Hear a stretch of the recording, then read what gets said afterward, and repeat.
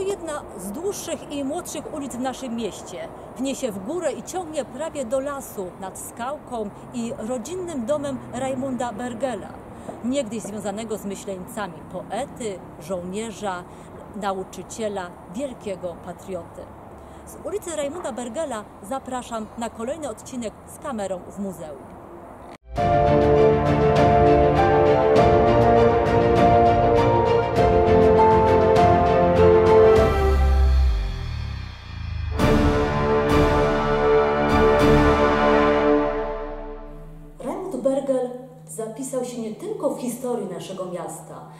Także w pamięci i sercach wielu myśleniczan.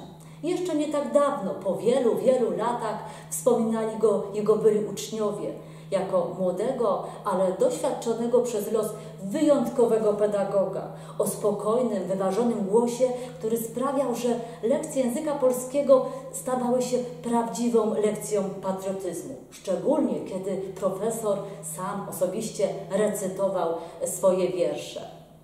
Posadę w Myślenickim Gimnazjum objął w 1923 roku, zaraz po studiach y, jako absolwent Wydziału Filozoficznego Uniwersytetu Jagiellońskiego w Krakowie. Nauczał przez 10 lat już w wolnej, niepodległej Polsce, o którą wraz z innymi bohaterami przez lata niestrudzenie walczył. Raimund Berger urodził się w 1894 roku w Jordanowie w rodzinie o pięknych, patriotycznych korzeniach. Ojciec Andrzej Bergel był sędzią, ale także zagorzałym działaczem niepodległościowym. Podobnie zresztą jak wuj, brat matki Jan Szczęsny Płatkowski, między innymi literat, współzałożyciel Towarzystwa Gimnastycznego Soku w Myślenicach, był dla młodego Bergela takim przykładnym społecznikiem, patriotą, wzorem do naśladowania. Nic więc dziwnego, że Raimund Bergel już w czasach gimnazjalnych brał żywy udział w organizacjach niepodległościowych.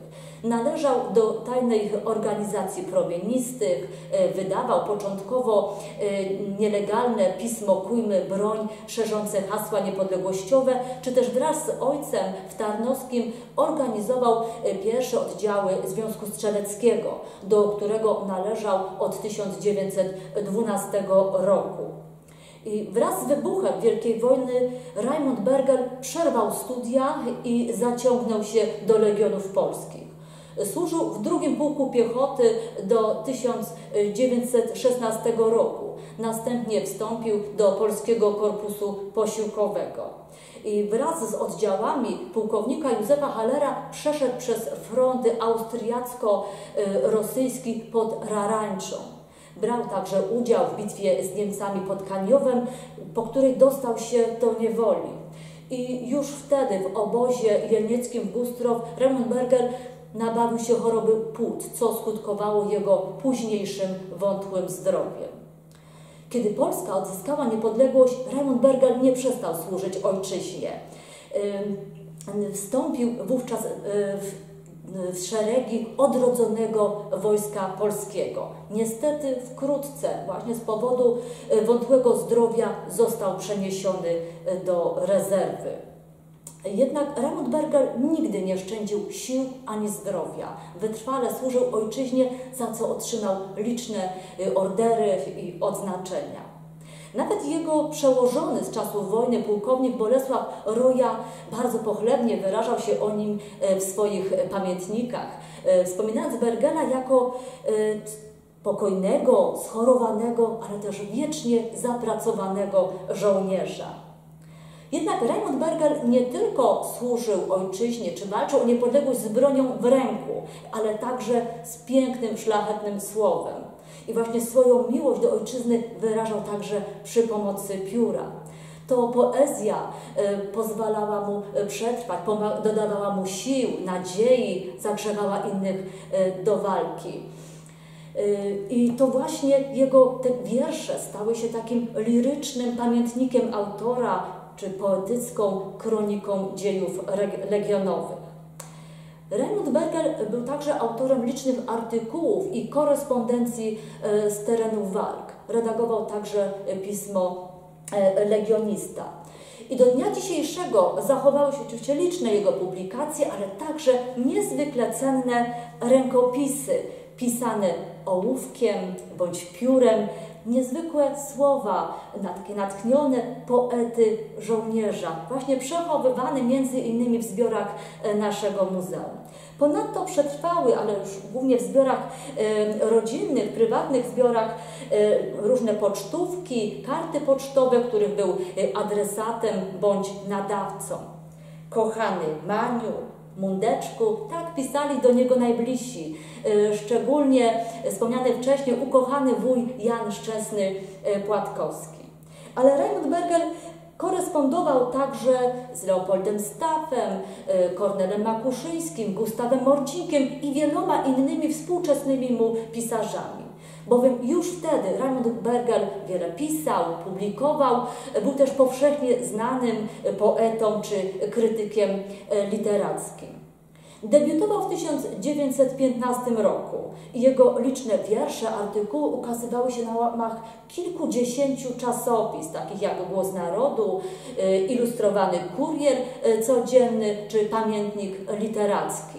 Y, oddzielnie wydał też takie trzy, chyba najbardziej znane zbiory wierszy, jak Czasy i ludzie, Tułaczym szlakiem czy Tęczowe mosty. Ze wszystkich utworów Bergena, odznaczających się subtelną formą, prostotą, bije gorące, patriotyczne serce, które to właśnie zadecydowało o nieprzemijającej wartości wierszy tego romantycznego, związanego z myślenicami poety. I jakże proste i ciche, a głęboko prawdziwe jest jego wyznanie wiary. Choćbyśmy myśli przeniknął, aż do dna wszelkich wartości, jedno w nich tylko odnajdziesz umiłowanie wolności. Choćbyśmy serce otworzył, żarliwą wiarą Ci wyzna, że ponad wszystko na ziemi najświętszą zawsze ojczyzna. Choćbyśmy piersi rozkroił, strojne jak harfa eolska, jeden z nich okrzyk dobędziesz, odzew do zgodnych służb Polska. Raimund Berger zmarł mając zaledwie 43 lata 4 sierpnia 1937 roku. Został pochowany tu, w Myślenicach, na cmentarzu przy kościółku świętego Jakuba na Stradomiu. Pogrzeb Raimunda Bergela z honorami wojskowymi był smutnym, ale wyjątkowym wydarzeniem w naszym mieście.